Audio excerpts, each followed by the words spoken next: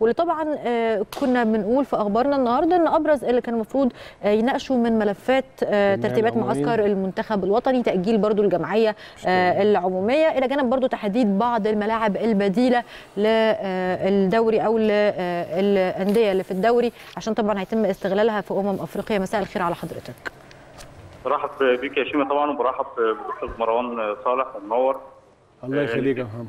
نبتدي بالملاعب طبعا يعني هو خلاص آه، ست ملاعب ده الصفه النهائية خلاص هم اللي هيستضيفوا بطوله أمم أفريقيا اللي هتقام 21 يونيو.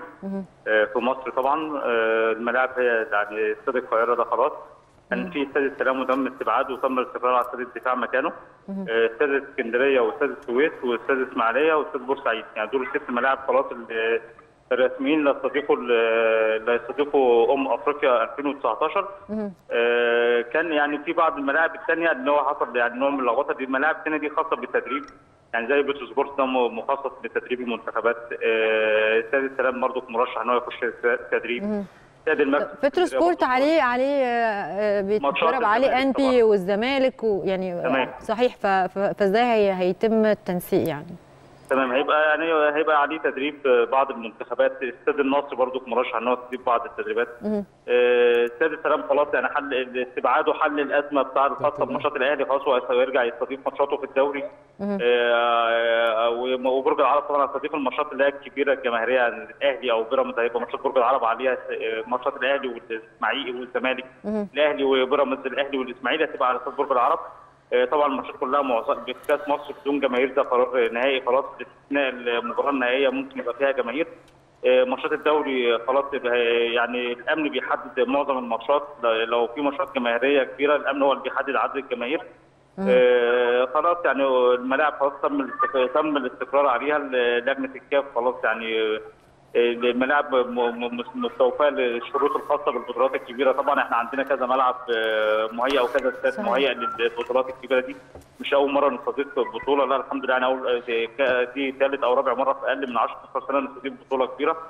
ده بالنسبة للملاعب. بالنسبة بقى لملاعب الدوري خلاص يعني استاد السلام الحمد لله إن هو تم استبعاده فده هيحل أزمات ماتشات الأهلي. أكيد. آه، استاد بطرس سبورت طبعا هيحل ماتشات الزمالك. آه، برج العرب هيحل الماتشات اللي هي الكبيرة وفي أفريقيا هتسيب ماتشات أفريقيا.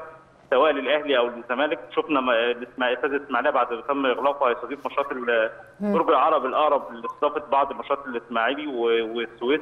آه، النهارده كان برضو كان الاجتماع اتكلم أو اتطرق للجمعية العمومية اليوم 23 فبراير. وكان بعض الأعضاء آه، مجلس الإدارة طلبوا تأجيلها لأن هو الكابتن هاني تحديدا وبعض أعضاء المجلس مشغولين بالتجهيز صحيح، أفريقيا. لكن صحيح. آه، كان في خلاف أو كان في حالة ضيق من الجمعية العمومية داخل الجمعية العمومية إن هم إزاي ياجلوا الموعد لموعد ثاني فاستقر الأعضاء النهارده إن إقامة الجمعية يوم 23 فبراير زي ما هي وهيتم مناقشة بعض البنود. وأعتقد إن هيبقى فيها كثير من الأزمات يوم الجمعية العمومية دي يعني في حالة غضب. لبعض أعضاء حالة غضب من بعض أعضاء الجمعية العمومية وعايزين يغيروا بعض البنود آه، الخاصة بلائحة النظام الاساسي اتحاد الكوره زي بند 8 والثمان سنين صحيح. آه بند 8 سنين هيتغير ولا لأ؟ آه، بعض الأمور اللي هي خاصة بالترشيح يعني اللي هو المفروض إن المجلس اللي فات هو اللي بيختار النائب. لا هم عايزين ال- ال- ال- النائب نفسه هو اللي يكون عدى عليه أو أو أو الرئيس لازم يكون عدى عليه دورة كاملة جوه اتحاد الكورة. هو يعني غالبا دورة إن هو يكون عضو أو دور أو أو دورتين. ال- النائب النائب يبقى دورة واحدة. لكن كل ده لسه خلاف. مفيش حاجة رسمية لغاية دلوقتي. آه، ده اللي هيبان في الجمعيه العمومية لكن بتكلم على حتة النائب. إن هو المجلس اللي فات هو الاعضاء هم اللي بيختاروا النائب صحيح. يعني أعضاء مجلس الإدارة هم اللي بيختاروا النائب لكن هم ال- الانتخابات الجاية عايزين يبقى في منصب للنائب يبقى يتم عليه الانتخاب. مش مش اتحاد مش مجلس الإدارة هو اللي يختار. فده برضو من البنود اللي هيبقى عليها خلاف. طبعا مقعد الم- المرأة طبعا بعضهم طلب إن هو يتم استبعاد مقعد المرأة. ويتم يعني يكون للمرأة أكثر من مكان لو أي م- أي امرأة م- عايزة ترشح نفسها ترشح ما فيش بقى مقعد أو مقعدين أو ثلاثة والاعلى. الاوسط هو اللي يفوز. فدي برضه هيبقى عليها نقطة خلاف في الجمعيه العموميه اللي جاية طبعا بند 8 سنين زي ما قلت شيما إن هو ده اللي هيبقى عليه الخلاف الكبير خاصة إن في أربع أعضاء وخمس أعضاء آه، بيطبق عليهم بند 8 سنين.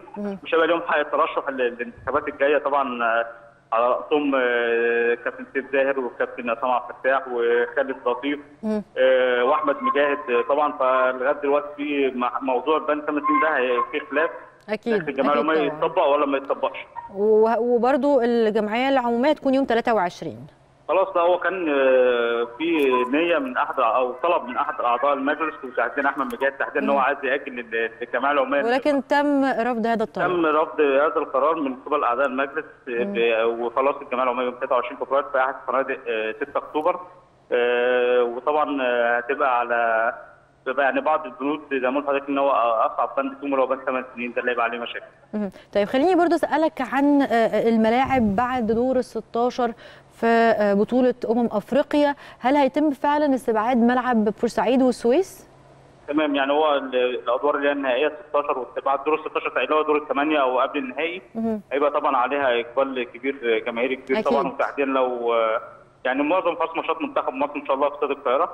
آه، فهم فضلوا إن الماتشات الملاعب الكبيرة اللي ساعه الجماهير ساعه الجماهير بتاعتها تبقى كبيرة. آه، تبقى في الملاعب دي وغ- وغير كده إن يعني بورسعيد و ما فيهاش عدد كافي من الفنادق إن هي تقدر آه، مش تستقبل مش الجماهير. مش مهيئة آه مش مهيئة انها تستقبل عدد آه، الضغط الجماهيري الكبير ده من صحيح. ناحية الفنادق آه، أو الطرق أو الحاجات دي فهم فضلوا إن هي يبقى في يا القاهرة أو اسكندرية هم الأقرب إن هم يستضيفوا ماتشات دور الثمانية والدور قبل النهائي والنهائي استاد القاهرة كده كده هيستضيف النهائي والافتتاح آه، فدور الثمانية هيبقى معظمه في القاهرة أو الدفاع أو اسكندرية. أستاذ محمد مراد الصحفي في اليوم استمع نورتنا أكيد في كلام في الميديا.